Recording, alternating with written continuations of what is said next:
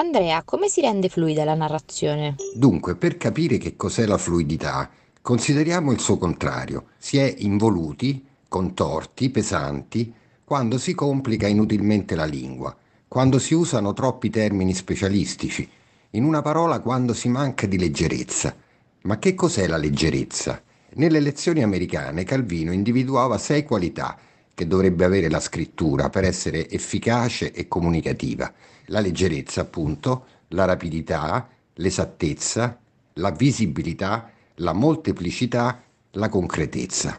Prendete la vita con leggerezza, scriveva Calvino, perché leggerezza non è superficialità, ma è planare sulle cose dall'alto, non avere macigni sul cuore. Ora, eh, questo in metafora.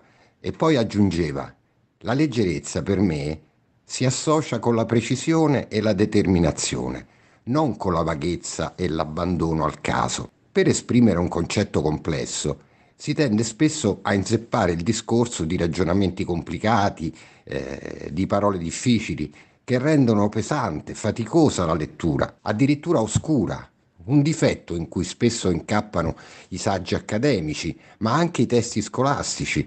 La fluidità e la chiarezza espositiva di un testo derivano dunque da scelte stilistiche ponderate. Per ottenere eh, un testo chiaro, semplice, leggibile, eh, bisogna anzitutto rileggere quello che abbiamo scritto e tagliare il superfluo, ciò che intralcia la scorrevolezza e l'ariosità del concetto da esprimere. Si può essere oscuri e pesanti in qualunque disciplina, dalla critica letteraria alla critica d'arte, alla sociologia. Scrivere in modo fluido significa, nella sostanza, rimuovere quegli ostacoli che bloccano il lettore e lo costringono a tornare indietro nella lettura. Eh, quindi non ricorrere troppo a perifrasi, a giri di parole, a gerundi, a participi passati, non abusare di termini tecnici, lo abbiamo detto, evitare le doppie negazioni, tipo eh, non si può non ammettere che quel film era noioso, deve diventare quel film era noioso. Poi evitare le ripetizioni, non solo di parole uguali o simili, ma anche di concetti detti in modo leggermente diverso a breve distanza l'uno dall'altro.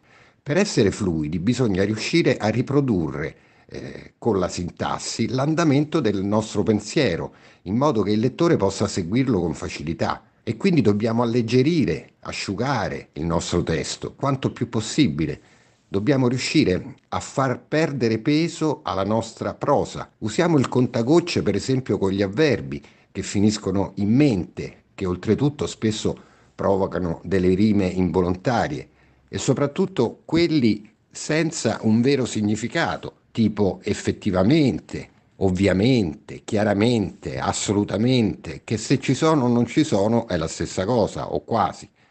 Eliminare i pronomi personali, gli aggettivi possessivi che non servono, per esempio, lui allungò il suo passo per raggiungerci, dovrebbe diventare allungò il passo per raggiungerci.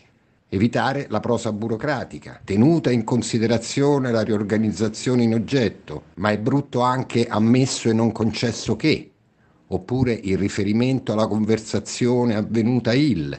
Alla prossima! Farmacia letteraria, un podcast della scuola di scrittura Genius.